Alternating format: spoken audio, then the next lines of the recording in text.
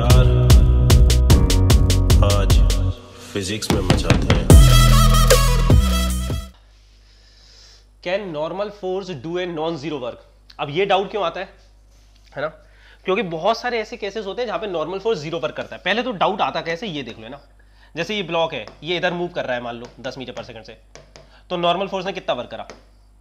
तो इस केस में work done by normal is zero क्योंकि डिस्प्लेसमेंट इधर हो रहा है नॉर्मल और डिस्प्लेसमेंट परपेंडिकुलर है। तो एक गलत कॉन्सेप्ट बन जाता है दिमाग में कि नॉर्मल का वर्क हमेशा ज़ीरो होता है। पर ये गलत कॉन्सेप्ट है। नॉर्मल का वर्क नॉन ज़ीरो भी हो सकता है, ये केस देखो। यहाँ पे इस बंदे का डिस्प्लेसमेंट ऊपर के डायरेक्शन में हो रहा है और इस पे देखो नॉर्मल फोर्स भी ऊपर लग रहा है। In this case work done by normal is positive और नेगेटिव भी हो सकता है। तो कैन इट बी तो work can normal force do a non zero work on the object answer is yes again ये भी तुम्हारा ज़ीरो वर्क भी कर सकता है।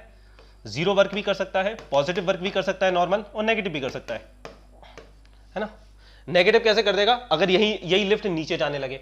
यही लिफ्ट नीचे जाने लगेगी नॉर्मल तो तब भी ऊपर लगेगा, पर डिस्प्लेसमेंट नीचे हो जाएगा। तो लो नेगेटिव हो गया। अरे, सब पॉसिबल है यार, सब पॉसिबल है।